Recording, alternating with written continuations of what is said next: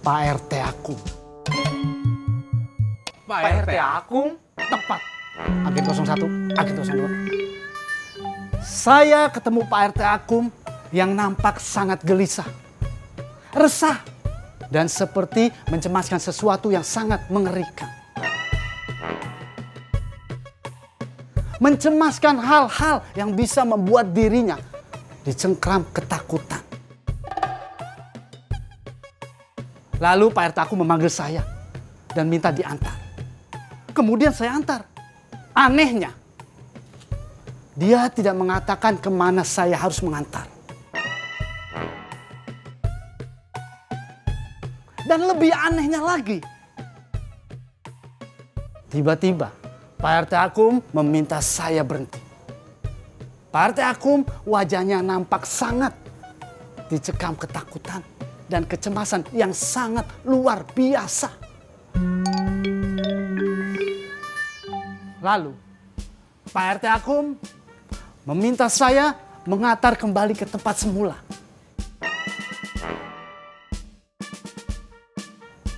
Lalu saya antar.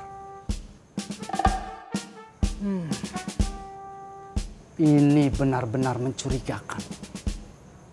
Tidak masuk di akal. Kenapa PRT Akum bolak-balik dengan kecemasan yang luar biasa? Punten Komandan. Tadi Pak RT Akum sama Kang Aceng teh datang ke sini. Pak RT Akum sama Kang Aceng? Iya, Komandan. Mereka teh membawa anak kecil. Hah? Anak kecil? Maaf Komandan. Anak kecil itu teh memanggil Pak RT Akum.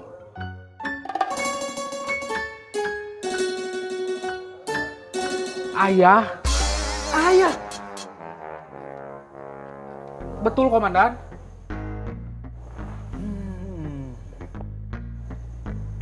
Pak RT Akum, anak kecil, dan panggilan ayah. Ini, ini teka-teki itu. Ini kode sandi rahasia.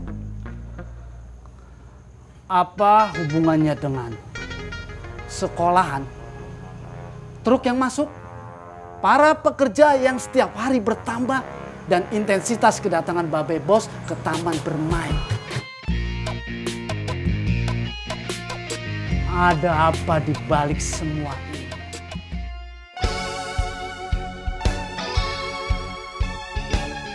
Saya harus segera memecahkannya. Saya kembali ke markas. Tetap waspada. Red Coat. Assalamualaikum. Waalaikumsalam.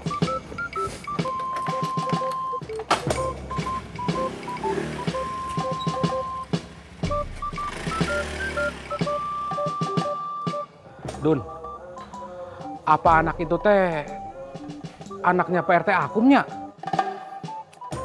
Saya teh nggak berani jawab, Rod.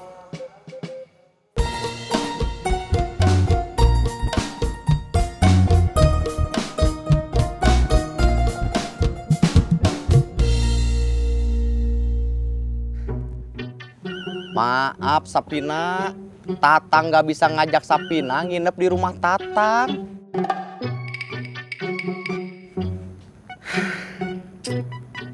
Sapina tidur di mana ya? Sapina pulang aja ya. Ayo, Tatang anter. Ayah, Wah. Pak Darlis? ayah, Wah. Keren ini. Sapina manggil Pak Darlisnya ayah. Ayah Darlis. Oh, malam ini tidak ada kelas. Hari ini dia cuma sampai jam 3 tadi. Ngomong-ngomong, Sapina teh semester berapa? Kok Tata nggak pernah lihat? Empat. Ayo, Sapina pasti malu.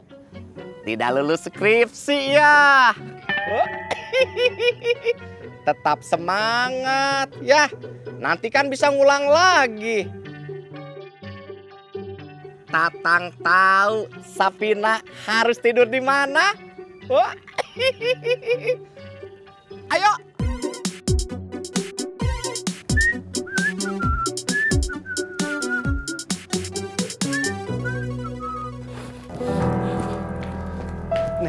AA dulu, Neng. Astagfirullahaladzim, Neng. Eh, ya Allah, Neng. Assalamualaikum. Waalaikumsalam. Bu, Neng, Neng, Neng. Neng, Pak. mau sholat? Iya. AA dulu, Neng. Perlu jelasin itu perempuan lain siapa lagi? Neng, jelasin sebentar, Neng. Neng, dengerin AA, Neng. Neng, Neng. Ah, jelasin, Neng. Makanya pintunya dibuka dong, Neng. Neng. Maaf, Febri mau ambil mukena. Oh, oh iya.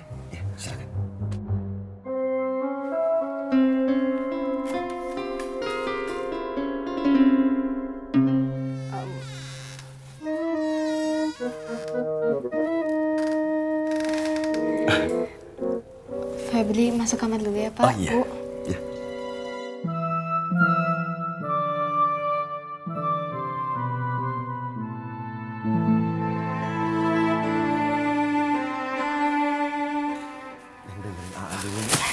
Nggak butuh baju baru. Neng. Neng. Neng. Neng. Neng.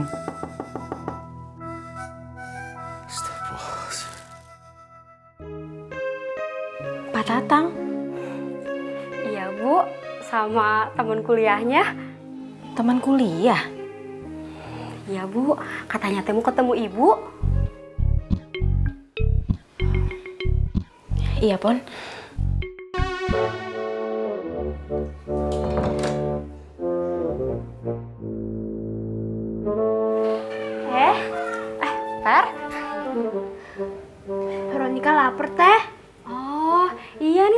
Masak.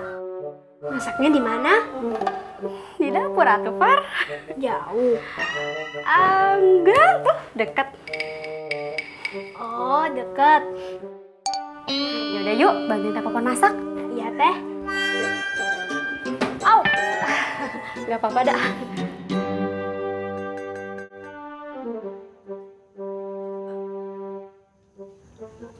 Ini teman kuliahnya Pak Tatang.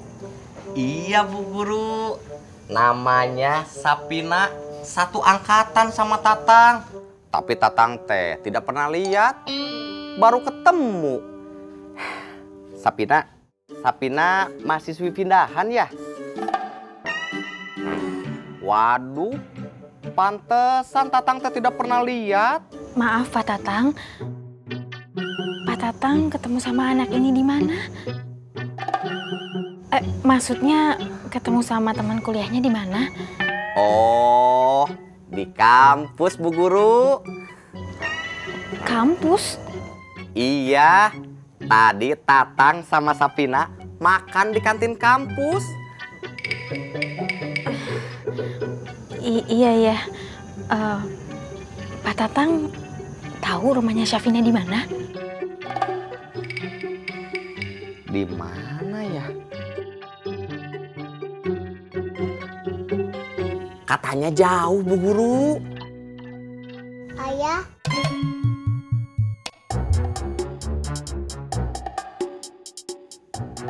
Waduh, Tatang sampai lupa. Sapina manggil Padarlisnya ayah. Tatang teh curiga. Sapina anaknya Padarlis ini. Kita harus memperlakukan Sapina dengan baik. Kalau tidak, nanti Tatang tidak diluluskan. I- iya Pak Tatang, iya. Alhamdulillah. Terima kasih Bu Guru atas kerjasamanya. Sapina, Tatang pulang dulu ya. Besok Tatang jemput lagi. Kita ke kampus bareng. Bu Guru, Tatang pulang dulu ya. mau lanjut ngetik. Skripsi Tatang kan tinggal bab kesimpulan aja. Assalamualaikum. Waalaikumsalam. Assalamualaikum Safina. Waalaikumsalam.